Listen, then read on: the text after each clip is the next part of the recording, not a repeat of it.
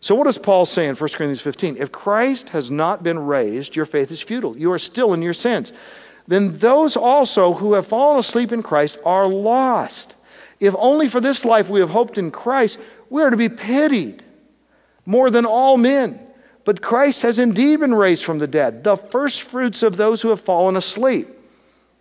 That is, as Christ was raised, the first fruits, so we shall be raised. We shall be like him in his, we were like, like him in his death. We shall become like him in his resurrection. As in Adam all die, so in Christ all will be made alive. This is great from John Updike. The first time I read this, I thought, wow, I don't know about other aspects of John Updike's life, but boy, was he on target here. Here's what he said. Of course, a great writer.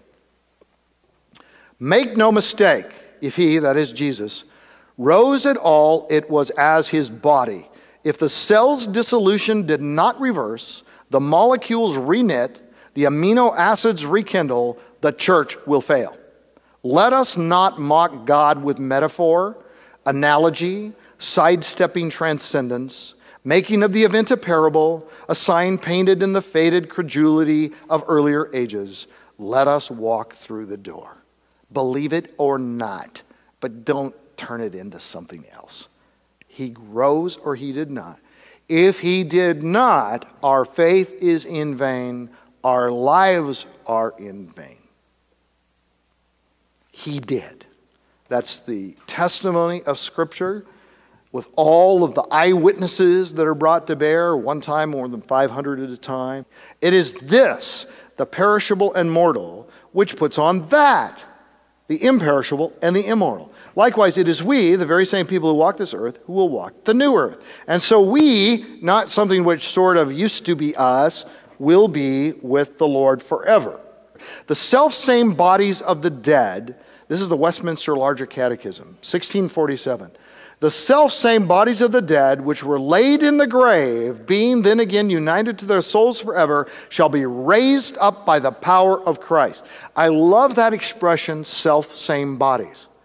It, it's, it's saying, no, don't think of it like, okay, you die, and the, your body's dead, and then now you, the soul, are given this new body that has never before existed.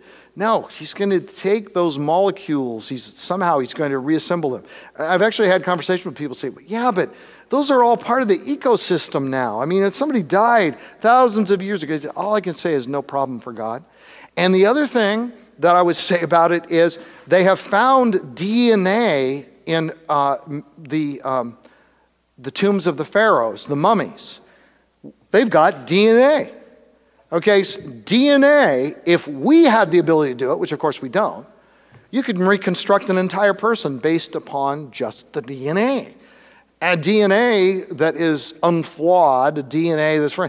Not that that matters to God, not that He needs to do that, but I'm saying that's what He said. He's going to raise up the old body. So, so what if it's part of the ecosystem? It's no longer even in a grave because it died so long ago and it's completely decomposed it's not going to be a problem for God.